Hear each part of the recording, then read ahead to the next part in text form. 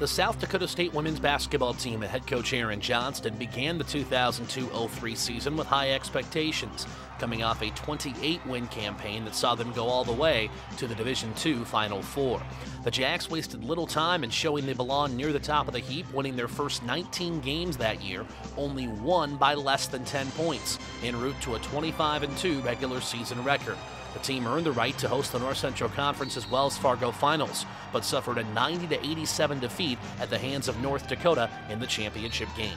Despite that loss, the Jacks were the hosts for the North Central Regional in NCAA postseason play, and it began against Regis of Colorado in the quarterfinals. SDSU shot 55% from the field and cracked the century mark for the sixth time that year, a 107 71 victory that saw six Jackrabbits post double figures. The next night was a rematch of that NCC championship game with North Dakota, and despite shooting a season worst, 2 of 16 from 3, the Jacks out rebounded the visitors by 13, opening up a 16 point halftime lead en route to a 77 56 victory and a berth in the championship game. Awaiting them was rival USD. The Coyotes and Jacks had split the regular season matchups, but there would be no doubt about the rubber game of this series. Shannon Schlegel scored a career high 27 points.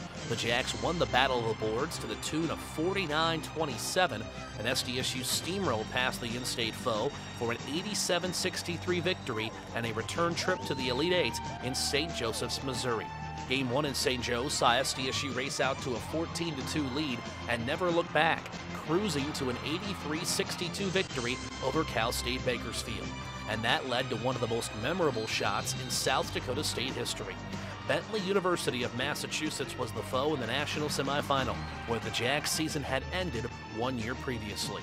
SDSU trailed 15 to 5 and 20 to 7 in the opening minutes, crawling back to within 5 at halftime. The Jacks still found themselves down by 3 with just seconds remaining. What's next is the stuff made of legends. Scotty Quaz had the call of that game on the radio. Schlegel, the inbound to Heather Steeler. Four seconds, three seconds. Steeler up to four. Feed to Isaac, the head fake. The three on the way. Good for three!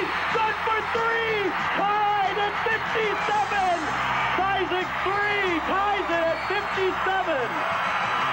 At the horn.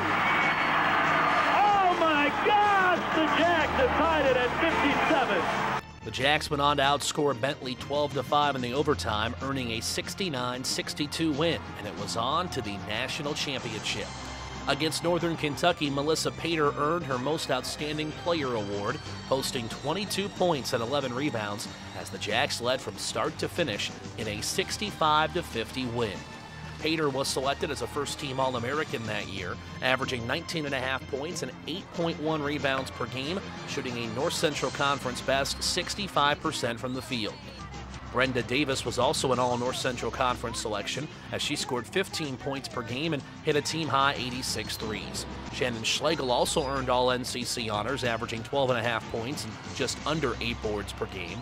Sizek scored 9 a game, shooting 40% from behind the arc, and her 130 assists were one better than teammate Heather Sealer, who averaged just under 8 points per game and had a team best 93 steals.